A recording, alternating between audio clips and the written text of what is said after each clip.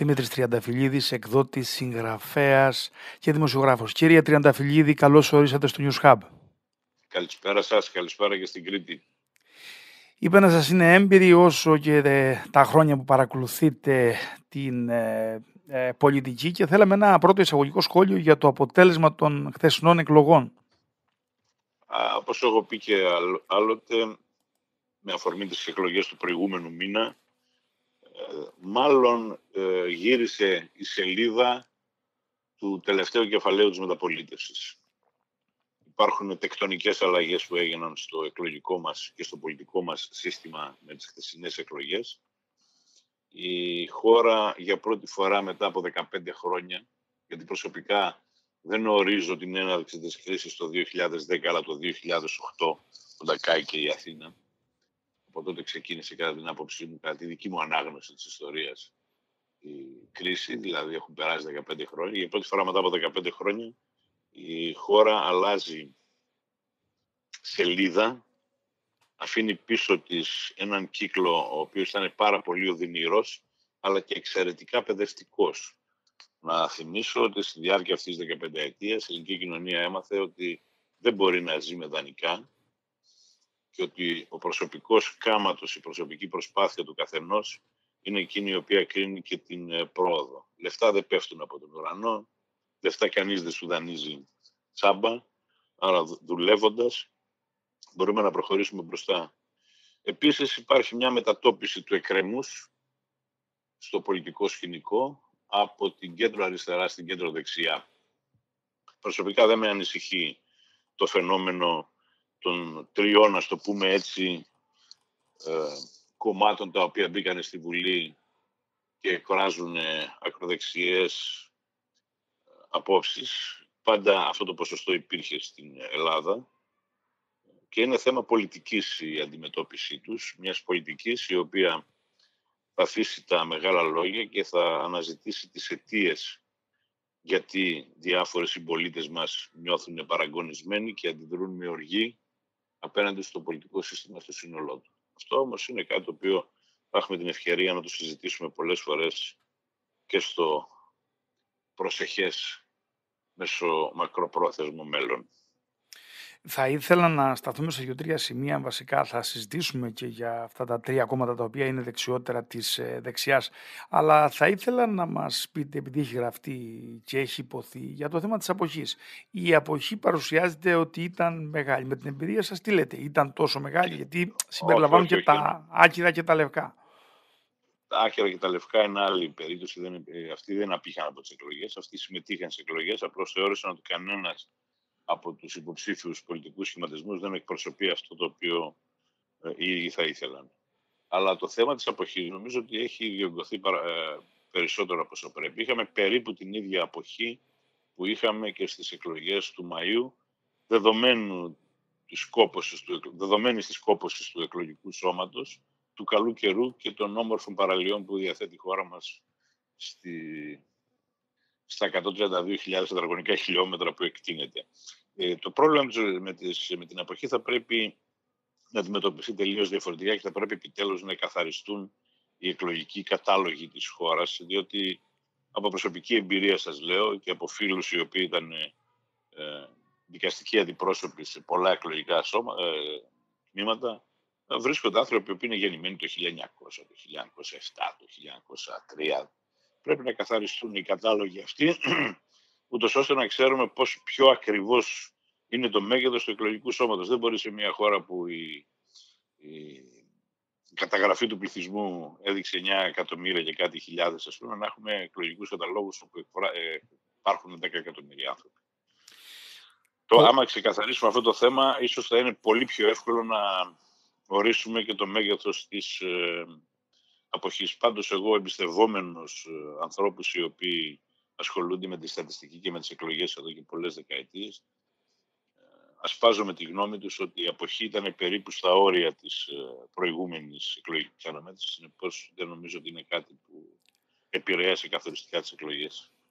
Για την κυβέρνηση η οποία θα παρουσιαστεί το σχήμα ε, σε λίγη ώρα, σε λίγη ώρα η, είναι γνωστό το τι, τι, οι προκλήσεις που έχει, δηλαδή είναι γνωστές. Πάμε στην αντιπολίτευση. Στην αντιπολίτευση έχουμε μια κατακαιρματισμένη αντιπολίτευση με ένα, ε, ε, με ένα ΣΥΡΙΖΑ ο οποίος δεν έχει καταφέρει να αλλάξει το ιδεολογικό πρόσωπο αλλά είναι καταγερματισμένοι όμως. Οπότε θέλω να μας πείτε δυο λόγια για το ΣΥΡΙΖΑ και το πώς θα εξελιχθεί και την υπόλοιπη αντιπολίτευση πριν να πάμε και στα, στα, σε αυτά τα τρία κόμματα. Κοιτάξτε να δείτε, ο ΣΥΡΙΖΑ έχει ένα ταυτοτικό πρόβλημα το οποίο όμως είναι γενετικό. Ο ΣΥΡΙΖΑ δεν μπορεί να αλλάξει. Αυτός είναι ο ΣΥΡΙΖΑ. Αυτές είναι οι δυνατότητες του να διαβάσει την πραγματικότητα και να συνομιλήσει με το παρόν και με βάση αυτές τις δύο, ας το πούμε έτσι, εντός εισαγωγικών αναπηρίες που έχει, τη μία την έχει εγκαίνητης και την άλλη την απέκτησε κατά την ε, πορεία, δεν μπορεί να προτείνει κάτι χειροπιαστό για το μέλλον. Η πολιτική που ακολούθησε ήταν καταστροφική, δηλαδή από όποια πλευρά και αν το δεις, είτε επικοινωνιακά, είτε πολιτικά, είτε οργανωτικά κτλ. Ήταν καταστροφική ως αντιπολίτευση. Να θυμίσω ότι ο ΣΥΡΙΖΑ αντέδρασε και προσπάθησε να υπονομεύσει την προσπάθεια της τότε κυβέρνησης να αντισταθεί στην υβριδική ε, επιχείρηση κατά της Ελλάδας το Μάρτιο του 2020 με τους μετανάστες στα σύνορα. Ακολούθως αγκάλιασε και έκλεισε το μάτι σε όλους τους αντιεμβολιαστές προσπαθώντας να αντλήσει ε, πολιτικά ωφέλη. Ε, προσπάθησε να υπονομεύσει το κύρος των δυνάμεων ασφαλείας. Να θυμίσω έτσι, τις διάφορες προβοκάτσιες που στήθηκαν στις πλατείες με τους νέους που θέλανε να πιούν μπύρες την περίοδο της πανδημίας υπονομεύοντας την υγειονομική ασφάλεια της χώρας. Το ίδιο συνέβη και στο μεταναστευτικό. Η, η τακτική του ήταν καταστροφική. Προσπάθησε να βγάλει πολιτικά ωφέλη από την τραγωδία στις, στα Τέμπη τη στιγμή που η ίδια κοινωνία, και εγώ ορκισμένος ήμουν με αυτό που συνέβη, και εγώ θύμωσα, και εγώ λυπήθηκα, αλλά μετά από ένα σημείο και μετά λες, πρέπει να κάτσω να σκεφτώ γιατί συνέβη αυτό το πράγμα και να ζητήσω μετά να μην ξανασυμβεί, αλλά πρέπει να καταλάβω τι συνέβη. Και ήρθε το πόρισμα μια επιτροπής στην οποία διόρισε η τότε κυβέρνηση και στην οποία τεχνικός σύμβουλος ήταν μια από τις κορυφαίες εταιρείες διερεύνησης μαζικών ατυχημάτων στον κόσμο και ανέδειξε μια σειρά από διοικητικά, οργανωτικά, αλλά και προσωπικά ασφάλματα. Και ξέρετε κάτι, δεν μπορούμε να κρυβόμαστε πάντα πίσω από το υπάρχουν ομαδικά λάθη ή υπάρχουν συλλογικά λάθη κτλ. Εγώ, άμα κάνω μία δουλειά στη δικιά μου, άμα κάνω ένα λάθος στη δικιά μου τη δουλειά, από τη στιγμή που το κείμενο φέρει την υπογραφή μου, είμαι υπεύθυνος εγώ. Δεν μπορώ να επικαλεστώ ότι ξέρετε στο καφενείο που πηγαίνω οι άνθρωποι την ώρα που εγώ ήθελα να γράψω, αυτοί μιλούσαν και σκέφτηκα κάτι άλλο. Επομένως, θα πρέπει η ελληνική κοινωνία, και το έκανε αυτό το πράγμα, οργίστηκε και τα λοιπά, στη συνέχεια έδειξε να καταλαβαίνω ότι, κοιτάξτε να δείτε, έχουμε μια παθογένεια η οποία κρατάει από την εποχή του τρικούπη. Και αυτό πρέπει να αλλάξει δεν αλλάζουν αυτά τα πράγματα με διαδηλώσεις. Αυτά τα πράγματα αλλάζουν με πολιτικές. Πολύ συγκεκριμένες πολιτικές. Πολιτικές ελέγχου ανάθεσης των δημοσίων έργων για την αποπεράτωση, παραδείγματος χάρη της ηλεκτρονικής κυβέρνησης, διακυβέρνησης των ε, τρένων, αλλάζουν με τον τρόπο με τον οποίο εκπαιδεύονται και επιστοποιούνται οι σταθμάρχες, οι επιθεωρητές κτλ. Ότι δεν μπορούν οι συνδικαλιστές να συνδιοικούν μεγάλους οργανισμούς. Γιατί αν θέλουν να συνδικούν μεγάλους οργανισμούς, θα πρέπει να λάβουν τις συνθήκες και τις ευθύνες. Και όχι μόνο στο να διορίζουν τους δικούς τους ή να προωθούν τους δικούς τους σε διάφορες θέσεις κλειδιά, με ολέθρια αποτελέσματα όπως είδαμε. Αυτά όλα η κοινωνία τα κατάλαβε. Η κοινωνία δεν βρίσκεται το 2008, βρίσκεται το 2023. Θέλει να προχωρήσει παρακάτω. Θέλει να υπάρχει μια ερεμία, μια σταθερότητα, να, ενισχυθεί, να ενισχυθούν δύο πράγματα, και αυτό φάνηκε πολύ καθαρά στις εκλογές, να ενισχυθεί η διεθνής θέση της χώρας, και εδώ αναφέρω την αντίδραση του ΣΥΡΖΑ σε συμφωνίες που έκανε η χώρα είτε για την αγορά σύγχρονων οπλικών συστημάτων όπως είναι τα F-35, οι βρεγάδες Μπελχάρα κτλ. Ήταν δυνατόν να πηγαίνει ο κύριος Τσίπρας στο Γάλλο πρέσβη και να του λέει όταν έρθουμε εμείς στην εξουσία θα επανεξετάσουμε το θέμα της προμήθειας των, των Ραφάλ και των φρεγατών. Είναι δυνατόν να αντιδράσουμε στις τριμερείς συνθήκες που διασφαλίζουν περισσότερο τη χώρα μας με το Ισραήλ ή με άλλες χώρες στην περιοχή. Ε, όλα αυτά η κοινωνία τα εκτίμησε και έστειλε το ΣΥΡΙΖΑ όχι στην εξωματική αντιπολίτευση όπου βρισκόταν, ας πούμε, αλλά αποδεκάτησε την ε, ε, κοινοβουλευτική του ομάδα. Στη στιγμή 48 βουλευτές δεν μπορεί ούτε ε, πρόταση της πιστεία ναι, ναι. ναι, να υποβάλει κατά τη Βουλή. Ε, αυτό το πράγμα ο Σίβερ πρέπει να κάνει να το σκεφτεί. Πρέπει να κάτσει να σκεφτεί και να δει, πούμε, τι δεν έκανα σωστά, γιατί δεν διαβάζω σωστά την πραγματικότητα, γιατί δεν μπορώ να συνομιλήσω με την κοινωνία, να δω τις ανάγκες της κτλ. Σας λέω λοιπόν, επειδή γνωρίζω πολύ καλά το ΣΥΡΙΖΑ και την αριστερά, γιατί προέρχομαι από εκεί, ε, ότι ο ΣΥΡΙΖΑ έτσι όπως είναι σήμερα δεν μπορεί να το κάνει με τα στελέχη που έχει. Είναι γαλοχημένα και είναι μαθημένα με έναν άλλο, έχουν, φοράνε ε, συγκεκριμένους παραμορφωτικούς φακούς και δεν μπορούν να καταλάβουν τι γίνεται. Αυτό θα οδηγήσει σε μια κατάσταση ισοστρέφεια στο ΣΥΡΙΖΑ και περαιτέρω συρρήκνωσή του. Από Στις επόμενες εκλογές επόμενες εκλογές που θα γίνουν για την αυτοδιοίκηση και το Ευρωκοινοβούλιο, ο ΣΥΡΙΖΑ θα, θα μειώσει κι άλλο την επιρροή του στην κοινωνία. Ε, αυτή... Και να, ε, κρατήστε την εκπομπή, ναι, να το ναι. συζητήσουμε αυτή την κρατάω αυτή την εκτίμηση. Πάντως ε, η αλήθεια είναι ότι ο μετασχηματισμός και η αλλαγή στο ιδεολογικό πρόσημο ότι από ένα κόμμα αντίδραση του 3% είμαι πλέον ένα κόμμα που διεκδικώ την διακυβέρνηση από ό,τι φαίνεται, από ό,τι αποτιμάται από το εκλογικό αποτέλεσμα ε, δεν πέτυχε. Ε, η είσοδος πώς, τώρα... θα πετύχει, πώς θα πετύχει όταν είναι, όταν είναι κουρελού; Με συγχωρείτε δηλαδή εκείνοι που ήταν στο 3% ήταν όσοι είχαν απομείνει από την παλιά ανανεωτική αριστερά. Αυτή ήταν. Ξαφνικά αυτό το κόμμα από το 3% πετάχτηκε στο 12% και μετά πήγε στο 33% το 15%. Ποιοι ήταν όλοι αυτοί που πήγαν εκεί πέρα; Αν δείτε τις απώλειές τους στις εκλογές, ένα μεγάλο μέρος αυτών οι οποίοι φύγανε περίπου ένα 10 με 12% είναι αυτοί οι οποίοι πήγαν και ψηφίσαν τα κόμματα για τα οποία θέλετε να μιλήσουμε παρακάτω.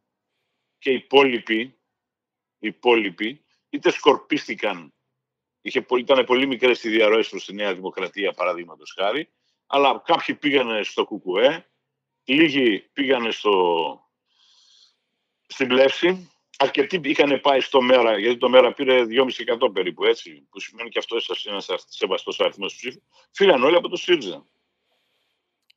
Επομένως, Πώς θα, πώς θα τους συγκρατήσει όλους αυτού, πώς θα βρει μια κοινή γνώση, γλώσσα να πείσει πρώτα αυτούς και μετά να πείσει την υπόλοιπη κοινωνία; Ε, στο, στην αντιπολίτευση έχουμε και τρία κόμματα μικρά. Πάντως σε όλους αυτό που συζητιέται είναι η έκπληξη με τους Σπαρτιάτες. Ήθελα να μου κάνετε ένα σχόλιο για την είσοδο ενός ε, ακροδεξιού ναζιστικού μορφώματος μάλλον από τη στιγμή που ο δυνητικός αρχηγός είναι μέσα από τις φυλακές του έγκλειστος ε, Κασιλιάρης ε, και πώς αυτό διέφυγε της νομικής δικλίδας που είχε φτιάξει η κυβέρνηση. Κοιτάξτε, η κυβέρνηση είχε φτιάξει μια νομική δικλίδα σύμφωνα με την οποία καταδικασμένοι για εγκλήματα δεν μπορούν να, είναι στην, στην, ε, να συμμετέχουν στην εκλογική διαδικασία. Άνθρωποι οι οποίοι δεν έχουν καταδικαστεί για συγκεκριμένες πράξεις εγκληματικού χαρακτήρα δεν μπορούν να αποκλειστούν στη δημοκρατία. Τι να κάνουμε τώρα; Και πολύ σωστά.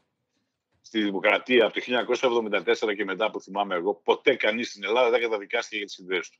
Όλοι καταδικάζονται για συγκεκριμένες πράξεις, οι οποίες ανάλογα με τη βαρύτητα χαρακτηρίζονται από πτέσματα έως ιδεχθεί εγκλήματα. Η αλήθεια όμως, κύριε Τρενταβλίδη, είναι ότι τους έπιασε όλους τον ύπνο. Ε, σε αυτό όμως έχει να ε, κάνει. Καλά, δεν τους έπιασε όλους στον ύπνο, γιατί να σας πω κάτι ε, προσωπικά και δημόσια το είχα πει. Α πούμε ότι στη χώρα υπάρχει ένα κοινό το οποίο έχει ε, και χαρακτήρα συνομο, συνωμοσιακής οργάνωσης και λειτουργεί ας πούμε έξω από τα παραδεδομένα του πολιτικού συστήματος. Λοιπόν, αυτός, αυτό το κοινό υπάρχει, πάντα υπήρχε στη χώρα μας. Την εποχή θυμάμαι εγώ με τα πολιτευτικά, ας πούμε, που υπήρχε η ΠΕΚ, πώς λεγόταν η ΕΚΠΕΝ, και συνέχισε, ας πούμε, με διάφορες άλλες μορφές, οι οποίες βρισκόταν πάντα στο περιθώριο του πολιτικού συστήματος, αλλά δεν ε, είχαν ε, ξεμητήσει, ας το πούμε έτσι.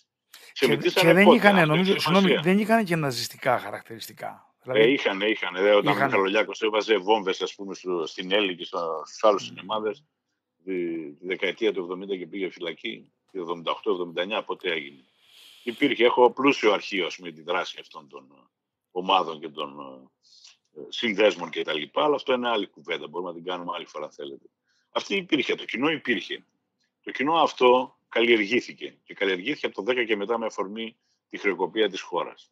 Καλλιεργήθηκε σε ένα λόγο τοξικό, σε ένα λόγο αναφανδόν απορριπτικό των πάντων και της προβολής κάποιων ιδεών και αξιών, ας πούμε, οι οποίες, ε, κατά τη γνώμη τους, αντιπροσωπεύουν τον ελληνισμό. Συγγνώμη που θα το πω αυτό το πράγμα, αλλά ο ελληνισμός είναι μια πορεία 2.500 χρόνων, ας πούμε, και κανείς δεν μπορεί να την καπηλεύεται και να λέει ότι την εκφράζει καλύτερα από τους υπόλοιπους. Γιατί αν τους ρωτήσουμε διάφορα πράγματα, όπως πώς ήταν οι αρχαίοι Έλληνες, όπως τους περιγράφει ο Όμηρος κλπ., και δούμε το σημερινό Έλληνα, θα δούμε ότι πρόκειται για δύο τελείως διαφορετικούς ανθρωπότυπους. Γιατί ακούω πολλά για DNA, ακούω πολλά για το θέμα της εκπροσώπησης ε, της πραγματικής πίστης κλπ. Έτσι, να θυμίσω ότι ο Χριστός ε, είναι μία φράση. Όλος ο χριστιανισμός είναι μία φράση. Εγώ αγάπη είμαι. Ο Χριστός ήρθε για να ενώσει και όχι για να χωρίσει. Ο Χριστός δεν πολιτεύτηκε ποτέ. Ο Χριστός δέχτηκε να του πλύνει τα πόδια μια γυναίκα από συνάγωγος. Στην εποχή του η Μαρία Μαγδαληνή θέλοντας να δείξει ότι ακόμα και αυτούς που καταδικάζει το κοινωνικό σύνολο, ο Χριστός τους δέχεται. Και πώς έρχονται σήμερα κάποιοι και μιλάνε για δικούς μας και δικούς τους Αγίους. Πού το είδανε γραμμένο αυτό; Να μου πούνε και εμένα, εγώ έχω τελειώσει το λογική σχολή να μου πούνε για μένα πούμε, πού, πού το γράφει αυτό στο Ευαγγέλιο, στις πράξεις των Αποστόλων ή στα κείμενα των πατέρων της Εκκλησίας. Για να πάω να τα διαβάσω. Μπορεί να μην ήμουν καλός μαθητής, αν και το πήραμε άριστα το πτυχίο. Εν πάση περιπτώσει, εγώ θέλω να μείνουμε λίγο στους Σπαρτιάτες. Ε, έχει συζητηθεί. Είναι αυτό... ωραίο αυτό που ναι. βγήκανε. Είναι ωραίο αυτό που βγήκανε. Θα δει ο κόσμος στις τηλεοράσεις και στη Βουλή ποιοι είναι. Μάλιστα. Μέχρι ε... τώρα ήταν κρυμμένοι στο σκοτάδι. Ε... Λειτουργούσαν συνωμοτικά. Πάντως, Χρησιμοποιούσαν εγώ... συγκεκριμένες εφαρμογές στο, στο, στο διαδίκτυο, το Viber, το Skype κτλ. Για να επικοινωνούν μαζί τους και να δούμε. Τώρα θα τους δούμε ποιοι είναι. Εγώ λέω πάντως. Ότι... Εμένα αυτό μου θυμίζει τη σκάλα και τη μαϊμού. Ναι. Όσο πιο ψηλά ανεβαίνεις στη σκάλα η μαϊμού, τόσο περισσότερο φαίνεται το κόλος της. Μάλιστα. Ε, εγώ αυτό το λέω ότι πιάστηκε στο γύπνο γιατί είχε κάνει ακριβώς την ίδια κίνηση ο Κασιδιάρης μέσα από τη φυλακή για την Κωνσταντοπούλου. Και είχε δώσει γραμμή, πράγμα που το οποίο δεν φάνηκε, δεν το πήρε κανείς στα σοβαρά. Με τον ίδιο τρόπο λοιπόν λειτουργήσε και σε αυτή τη φάση, ε, αφού πέρασε από τον Αριοπάγο το, το κόμμα, μετά έδωσε γραμμή και λέει αυτό να ψήσετε. Ίσως όμως να μην υπολογίζαν ότι δεν θα είναι το ίδιο, η εξέλιξη δεν θα είναι ίδια όπως στις πρώτες εκλογές που έδωσε γραμμή. δεν, μπορούσε, δεν μπορούσε να κάνει τίποτα κανείς. Ναι. πολύ. Ο Άριος Πάγος ενέκρινε την κάθοδο ενός κόμματος στις εκλογές. Ένα κόμμα το οποίο πληρούσε τα συνταγματικά και νομικά πλαίσια τα οποία ορίζει ο νόμος για να κατέβει κάποιο κόμμα σε εκλογές και από εκεί πέρα βγήκε ένας καταδικασμένος για συμμετοχή και καθοδήγηση εγκληματικής οργάνωσης και το στήριξε. Ε, Αφήστε ε, να δούμε τα πράγματα. Νομίζω ότι θα έχει, θα έχει τρομερό ενδιαφέρον ε, οι, οι ακτινογραφίες που θα βγάλουμε αυτού του κόμματος στο αμέσως επόμενο διάστημα. Πάντως, ε, ε, η συζήτηση Ακόμα υπάρχει ότι μπορεί να τεθεί και νομικό ζήτημα για τον εικαζόμενο αρχηγό. Δεν υπάρχει, δεν υπάρχει αυτή η περίπτωση νομικά. Εγώ ρώτησα έγκυρο τους νομικούς σήμερα το πρωί. Άρα λοιπόν δεν υπάρχει. Και μου είπαν ότι δεν μπορεί να πάει στο εκλογοδικείο αυτή η υπόθεση. Κατά, να πάει, ναι, κατά τη διάρκεια των αποτελεσμάτων συζητήθηκε έντονα. Οπότε λοιπόν δεν μπορούν με ναι, μια τέτοια. Δεν, μπορεί, δεν υπάρχει περίπτωση. Δεν, μια... δεν προβλέπεται από τον νόμο. Τι να κάνουμε, θα αλλάζουμε συνέχεια νόμους για να ικανοποιούμε κάποια καπρίτσια ας πούμε της ε, πολιτικής συγκυρίας; Όχι. Θέλω... Πάλι θα είναι πολιτική. Πάλι θα είναι πολιτική και ιδεολογική. Αυτό θέλω να το ξεκαθαρίσω από την αρχή. Θέλω να κλείσουμε ότι το... δεν μπορείς να αφήνεις, δεν μπορείς να αφήνεις αναπάντητες προκλήσεις, ας πούμε, του στείλω ότι οι Έλληνες είναι ε, καθαρόιμοι απόγονοι των Βίκινγκ. Ξέρω εγώ τι λένε. Λένε διάφορα, γιατί έχοντας το αρχείο στα χέρια μου, με διάφορα περιοδικά κτλ. Αυτοί οι άνθρωποι λατρεύουν τους Vikings. Πείτε μου τι σχέση έχουν τώρα οι Vikings με εμάς. Μάλιστα. Ε, αυτά είναι γνωστά και από πιο μπροστά και από την περίοδο της Χρυσής Αυγής ε, με τον ε, Παγανισμό. Είχαν ανακατέψει πάρα πολλά πράγματα μαζί. Γερμανία με τότε. Λοιπόν, ε, πάντως για να κλείσουμε, ε, οδεύοντας προς το τέλος, ε, ήθελα ε, να μας κάνετε το σχόλιο σας για το εξής. Μπαίνουν τρία κόμματα δεξιότερα της δεξιάς. Μπαίνει το Νίκη που εκφράζει αυτά που εκφράζει, τα θίξατε εμέσως. Μπαίνουν οι Σπαρτιάτες που είναι ακροδεξιά με έναν ναζιστή αρχηγό ο οποίος είναι έγκλειστος και ο Βελόπουλος. Αυτά τα τρία κόμματα θέτουν κάποια. Ε, μάλλον ε, εκφράζουν ότι υπάρχει μια ανάγκη. Δηλαδή αυτό φαίνεται και σε όλη την Ευρώπη. Πιστεύετε ότι η νεοφιλελεύθερη πλευρά της Νέας Δημοκρατίας που είναι αντίθετη με κάποια βασικά πράγματα όπως είναι η κουλτούρα εγώ, όπως είναι οι παραδοσιακές αξίες, όπως είναι τα αυτοτικά χαρακτηριστικά. Μήπως πρέπει να το δει το ζήτημα; Όχι. Καταρχάς η Νέα Δημοκρατία δεν είναι νεοφιλελεύθερο κόμμα. Είναι ένα κόμμα κεντρό. Η στρατηγική του Μητσοτάκη, η οποία αποδείχθηκε ιδιαίτερα αναποτελεσματική, ήταν απλή. Η νεοφιλελεύθερη εννοώ, η νεοφιλελεύθερη πλευρά της Νέας Δημοκρατίας, η οποία ναι, ναι, κυριαρχούσε μέχρι ένα διάστημα. Δεν υπάρχει νεοφιλελεύθερη πλευρά της Νέας Δημοκρατίας, συγγνώμη δηλαδή. Όπως δεν υπάρχει και στην Ελλάδα walk culture που αναφέρατε. Πού την είδατε τη walk culture, δηλαδή που κάνουν το gay pride μία μέρα το χρόνο, ας πούμε, κάποιοι συνάνθρωποι μας, έχουν κάθε δικαίωμα να το κάνουν. Όπως έχει κάθε δικαίωμα ο παλιομερολογίτη να βγει με το σταυρό, ας πούμε, και να φωνάζει. Προσέξτε γιατί είναι πολύ επικίνδυνα αυτά τα πράγματα. Δεν υπάρχουν απαγορεύσεις στη δημοκρατία. Η δημοκρατία Πάντως... δεν μπορεί να απαγορεύει την έκφραση των πολιτών. Εκείνο που επιτρέπει η δημοκρατία και θα πρέπει να το περιφρουρήσουμε είναι η πολιτική αντιπαράθεση. Εγώ προσωπικά έχω αρθρογραφήσει κατά της walk culture την οποία τη θεωρώ ένα προϊόν των εγγονών των χίπης από το Woodstock. Είναι άνθρωποι οι οποίοι απογοητεύτηκαν που δεν επέτυχε η Παγκόσμια Επανάσταση, παλιοί τροτσκιστές, καλοζωισμένα προάστια των αστικών συνοικήσεων στις Ηνωμένες Πολιτείες που έχουν μπει σε διάφορα πανεπιστήμια και λένε διάφορες ανοησίες. Ήδη υπάρχει τρομερή αντίδραση σε αυτό το πράγμα και στις Ηνωμένες Πολιτείες και στη Μεγάλη Βρετανία και το φαινόμενο έχει περιοριστεί σε κάποια πανεπιστήμια. Αυτό είναι το φαινόμενο. Το φαινόμενο όμως αυτό έχει δημιουργήσει μια αύξηση της ακροδεξιάς στην. Ε, Όχι, δεν το έχει δημιουργήσει αυτό. Αν θέλουμε να είμαστε ειλικρινείς, αν θέλουμε να είμαστε ειλικρινείς και να βλέπουμε τα πράγματα έτσι όπως είναι, το φαινόμενο της αύξησης της επιρροής, μάλλον της ανάδειξης της επιρροής, γιατί η επιρροή παραμένει η ίδια. Έτσι, είναι περιορισμένη σε αυτό το 10-12% και στην Ελλάδα και σε άλλες χώρες.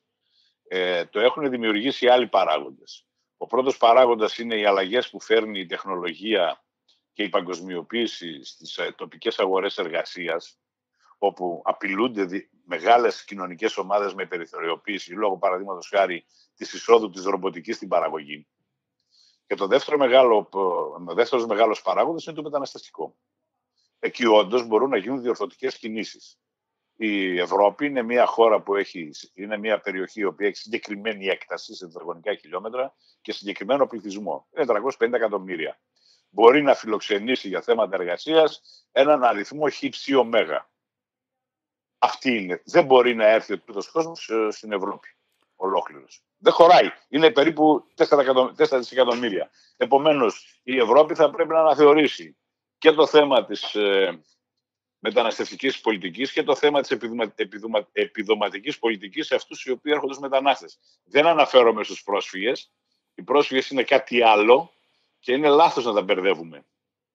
Ο πρόσφυγας είναι ένας άνθρωπος ο οποίος επέρχεται για κάποιους συγκεκριμένους λόγους. Γιατί διώκεται για την πολιτική του άποψη, γιατί όπως είχαμε τους 8 Τούρκους αξιωματικούς που ζήτησαν ως οικέτε πολιτικό άσυλο στη χώρα μας το 1917, να θυμίσω. Αυτό είναι άλλη περίπτωση. Και είναι άλλη ναι. περίπτωση οι άνθρωποι που ξεκινούν από διάφορες χώρες, οι οποίες για τους δικούς τους λόγους δεν έχουν την οικονομική ανάπτυξη που έχει η Ευρωπαϊκή Ήπειρος και θέλουν να μεταναστεύσουν εδώ πέρα. Αυτό θα πρέπει να το αντιμετωπίσει η Ευρωπαϊκή Ένωση και συγκεκριμένα πρέπει να το αντιμετωπίσει η Ευρωπαϊκή Γραφειοκρατία. Θα πρέπει να συζητηθεί σε ανώτατο επίπεδο. Ήδη υπάρχουν αντιδράσεις από τις χώρες πρώτης υποδοχής, οι οποίες για να μην κρυβόμαστε πίσω από το μάτι μας είναι τρεις. Η Ελλάδα, η Ιταλία και η Ισπανία. Και θα πρέπει αυτό το πράγμα να λυθεί σε ευρωπαϊκό επίπεδο.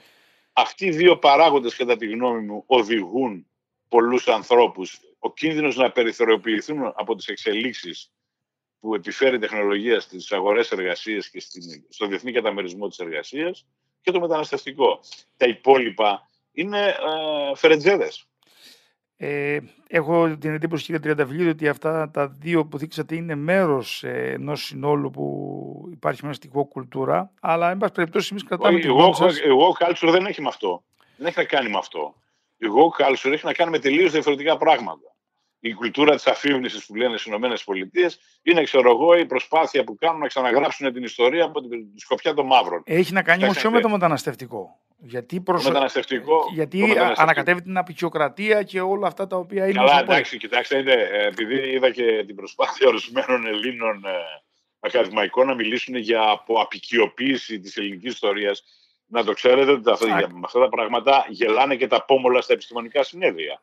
Ε, πάντως, δηλαδή, ναι, ναι, πάντως να, κρατήσουμε ένα, ένα, να κρατήσουμε ένα προς το κλείσιμο ότι όντως η υγωκουλτούρα αυτή τη στιγμή αντιμετωπίζεται κάπως διαφορετικά παρότι δημιούργησε αναταράξει ε, στο εξωτερικό. Μένει, να, μένει να δούμε τι θα γίνει. Στην Ελλάδα, στην Ελλάδα δεν έχουμε τέτοιο πρόβλημα με τη walk culture. Δηλαδή, αν δείτε στα δικά μας τα πανεπιστήμια, αυτό το πράγμα δεν συζητιέται.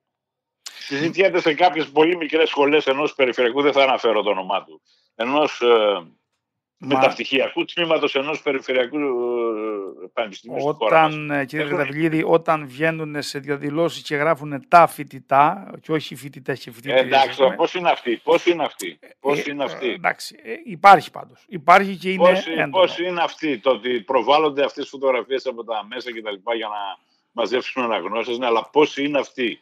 Και να σας πω και κάτι, εγώ ήμουν από, από αυτούς οι οποίοι πρώτοι, από τους πρώτους οι οποίοι βγήκαμε και είπαμε ότι πρόκειται για χοντρές ανοησίες που δεν έχουν καμία σχέση ούτε με την ιστορία, ούτε με την κοινωνία, ούτε με το παρόν της χώρας μας. Το κρατάμε. Δεν έχουν, δεν έχουν καμία σχέση. Τώρα μιλάμε, εντάξει τώρα κοιτάξτε, Επειδή όμως... πέριξ των εξαρχείων, πέριξ των εξαρχείων έχουν μαζευτεί διάφορα φεδρά πρόσωπα τα οποία νομίζουν ότι μπορούν να κάνουν αυτό το πράγμα.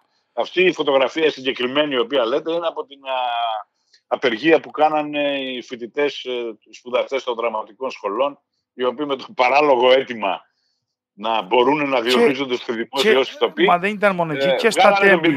Βγάλανε, κοιτάξτε το αποτέλεσμα ότι βγάλανε τον Μπιμπίλα βουλευτή. Και τις, Δούλεψαν όλοι για αυτόν. Και στις, και, στις, και στις διαδηλώσεις που κάνανε για το δυστύχημα στα τέμπη και σε άλλα σημεία αυτά όλα βγαίνουν. Αλλά εν πάση περιπτώσει δεν είναι το θέμα, της, ε, δεν είναι το θέμα αυτό. Το θέμα είναι ότι όλο αυτό υποβόχει κοινωνικά και όλο αυτό ανακλάται πολιτικά. Ε, Στο Ηράκλειο δεν είστε αγαπητέ μου. Ακριβώς. Ωραία. Εγώ μένω σε ένα μικρό μέρος, πολύ όμορφο, στην ερέτρια της Εύβοιας. Και εγώ είμαι όπως όλοι οι φυσιολογικοί άνθρωποι που πηγαίνω στο καφενείο. Έτσι και δεν τρέπομαι γι' αυτό. Είναι οι φίλοι μου εκεί. Και εμείς πηγαίνουμε, μας αρέσει το καφενείο. Ναι, ναι, ναι. Τους βρίσκω, συζητάμε, πίνουμε κανένα τσίπρο κτλ. Άμα τους ρωτήσετε όλους, είναι άνθρωποι με ροκαματιάριδες. Είναι άνθρωποι που δουλεύουν με τον κόπο των χεριών τους σκληρή δουλειά. Κάνουν δύο και τρεις δουλειές ο καθένας. Άμα τους πείτε τι είναι walk culture, θα σε κοιτάξει παράξενος, σου πει έπαθες κάτι. Δεν νομίζω, δεν νομίζω. Δεν, ε, στο κινηματογράφο, στην εκπαίδευση και στην τεχνολογία δεν έχω την ίδια άποψη, αλλά εν πάση περιπτώσει εμείς κρατάμε την άποψη της δικής σας. Είστε φιλοξενούμενος, κρατάμε την άποψή σας. Πάντως, ε, εσείς δεν, δεν βλέπετε, για να κλείσουμε, δεν βλέπετε ένα κίνδυνο ότι πρέπει όλα αυτά τα προτάγματα... Ξέρετε ο κίνδυνος που βρίσκεται για την επόμενη κυβέρνηση. Ναι, και με αυτό να κλείσουμε, ναι. Με καθυστερήσεις στις ε, αναγκαίες για την ε, χώρα μας μεταρρυθμίσεις. Μεταρρυθμίσεις σε τρεις τομείς βασικά. Ο πρώτος τομέας είναι η παιδεία, που πρέπει να αλλάξουν πολλά, μην σας πω ότι πρέπει να την κρεμίσουμε και να την ξαναφτιάξουμε από την αρχή. Ο δεύτερος μεγάλος τομέας είναι η υγεία, στην οποία θα πρέπει να γίνουν πολύ σοβαρά μέτρα, να πάρθουν πολύ σοβαρά μέτρα και να αναλυθούν πρωτοβουλίες για να βελτιωθεί το δημόσιο σύστημα παροχής υπηρεσιών υγείας. Και το τρίτο μέρος, το οποίο θα πρέπει, το τρίτο σημείο το οποίο θα πρέπει να προσέξει η κυβέρνηση, είναι το θέμα της δημόσιας ασφάλειας της χώρας. Αν σε αυτά τα τρία προχωρήσει με γενναίες μεταρρυθμίσεις, με γενναίες πρωτοβουλίες κτλ. Η χώρα θα αλλάξει. Γιατί να σας πω, θα δείτε ότι εντός των επόμενων ημερών θα ανέβει επενδυτική βαθμίδα η χώρα. Υπάρχουν άνθρωποι οι οποίοι θέλουν να έρθουν και να επενδύσουν σοβαρά στη χώρα. Και δεν λέω όταν λέω να επενδύσουν, δεν εννοώ να αγοράσουν ξενοδοχεία και διαμερίσματα για να τα κάνουν Airbnb.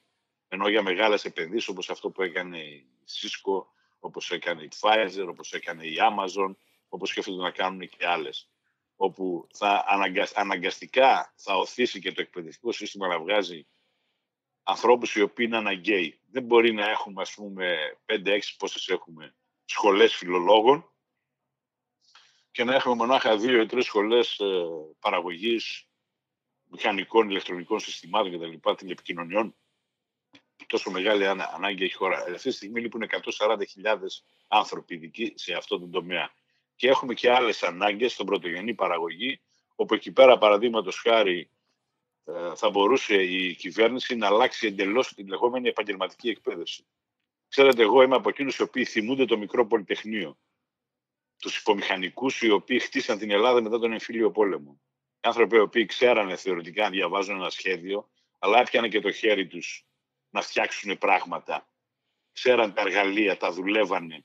Και με αυτά χτίστηκε η Ελλάδα μετά τον εμφύλιο πόλεμο. Αυτούς τους ανθρώπους, αυτή ήταν η ραχοκαλιά της οικονομικής ανάπτυξης θαύματος στη μεταπολεμική δεκαετία του 50. Να σας θυμίσω ότι τότε δύο χώρες είχαν τέτοια τρομακτική οικονομική ανάπτυξη, η Ελλάδα και η Ιαπωνία.